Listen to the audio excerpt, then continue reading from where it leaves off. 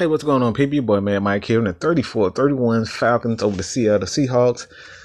Man, this offense was just, I thought they was just rolling. I, I really think they're starting to pick up steam. Steve Sarkisian getting comfortable with uh, all his players, the plays that uh, he's really not accustomed to. You know, this is a whole completely different uh, system. This is not his system, in other words.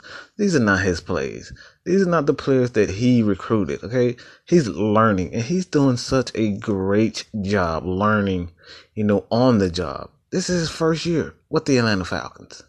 He doesn't know anything about Matt Ryan.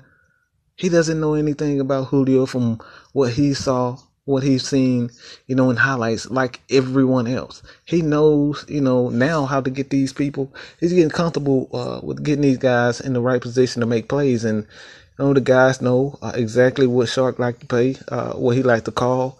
And like I said, man, it's only a matter of time. I think the Falcons are really starting to pick up steam on offense. Yeah, Matt Ryan, uh, it's it's 200 uh, yards passing uh, record kind of came to an end tonight. Um, I think it was like 64 games with um, at least 200 yards passing. That came to an end tonight. Um, but he had a great job 195 yard passing, two touchdowns, uh, one to Sanu, one, oh, that one handed. Oh my God, that was a great catch from Mohamed Sanu and Toilolo, Levine Toilolo with the touchdown. He had no, Tevin Coleman. I think he had like um like forty something yard, eighty nine yards rushing on the game. But the defense, I just, you know, even though you know Russell Wilson had a monster game, you know, two hundred eighty eight yard passing, eighty six yard rushing. The Falcons defense just continued to impress me. Camille, uh, Kemal Ishmael had a sack. Grady Jarrett uh, tack. Trufant with an interception. The special teams were just atrocious. But from the but uh, besides that, you know, the defense. Uh, this team is this defense is just getting so much better. It really uh they they the guys up front getting so much better. You have uh Dontari Poe, Grady Jarrett, who is just a freaking monster. This guy is on the freaking ride. This guy is special, okay? Grady Jarrett is special. Vic Beasley, this front line, this front four of the Falcons they are the real deal, man. They really are the freaking real deal, and it's only going to get better.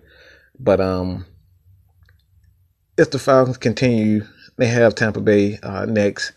Uh, no Jameis Winston in the next game. This team could really, and I think they are, are getting hot. They can go on a, a another run, man, where they can get to the playoffs. You know, um, at least get, uh, and you know, you never know what's gonna go on. You know, Philadelphia can go on a two three game a losing streak. So can Carolina. Um, a lot of teams can go. Uh, the Rams they can go on a losing streak. You just never know what's going to happen in the NFL. This is why we play the game. This is why we continue. Know, the Falcons always say, you know, take one game at a time. Okay, they can they can easily go on a, a winning streak. You know, a lot of people upset. You know, we lost to uh, Baltimore, not Baltimore, but uh, the Buffalo Bills and you know uh, the Dolphins. They should have won those games, but this is the NFL. Like anything can happen, man. And you know the Falcons, they're improving on offense, and I really think this is just the beginning. Falcons get hot, get back to the playoffs, and they can you know try to get right back to the Super Bowl, and it's time to bring it home. But let me know what you guys think, man. Are the Falcons are getting hot? Are they getting hot, and can they get back? to the Super Bowl. Let me know what you guys think. Your boy, man, Mike is out.